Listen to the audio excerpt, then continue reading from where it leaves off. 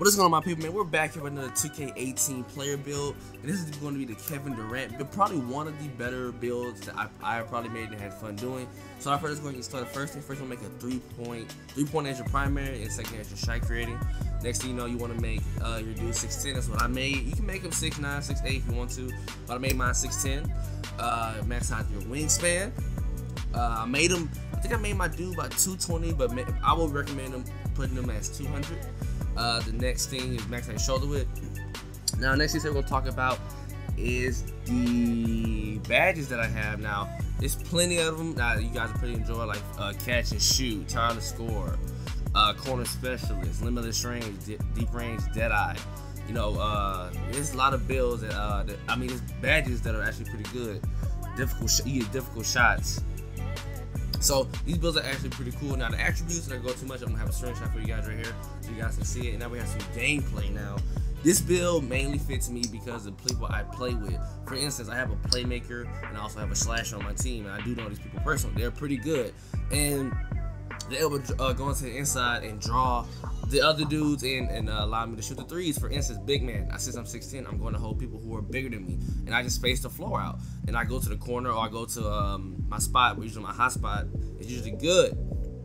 So that's why I make, that's also another good thing. Make sure your hot spots is pretty good, which is pretty super this year. But it's really easier. It's really easy for me to get these shots because they draw so much attention. They kick out three point. Now, as far as defensive wise, you may I really haven't had that much too much of a problem because for one I, I'm ha- I, my my defensive IQ is at a C, but it's, it's decent enough to do my thing. I get block shots. I do uh, rebound pretty good. I can defend pretty well. It's just whether or not I'm going to another. Like, everybody's a big dude. That's really gonna be the problem. But overall, this is a pretty good Kevin Durant build. If for all you dribbling faggots or do that zigzag and shit, this may not be a build for you because for one, I'm I don't usually like having the ball in my hands as much. I like having other people ball in hand, let them do their thing like a slasher.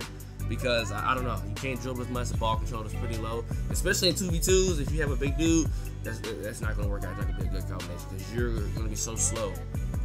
You're not able to create shots for yourself. So that's why I say this build is really good, built for the people who basically can just you have a good playmaker, a good point guard, and someone who can at least share the rock or at least kick it out and at least play some good defense. That's what I have on my team. This is a pretty good build.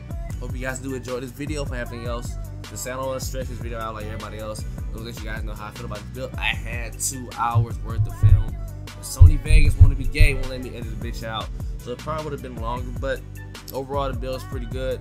Hope you guys enjoyed this video. I will be making a playmaker playmaking defender, maybe. I don't know. Let me know what else we should do next in the comments. I will. I'm, I'm gonna make another build for you guys and grind it out. I do have catch and shoot on silver. Everything's mostly silver, uh, bronze and silver besides my corner specials and stuff like that. So hey, overall, hope you guys enjoyed the video. I'll see you boys later.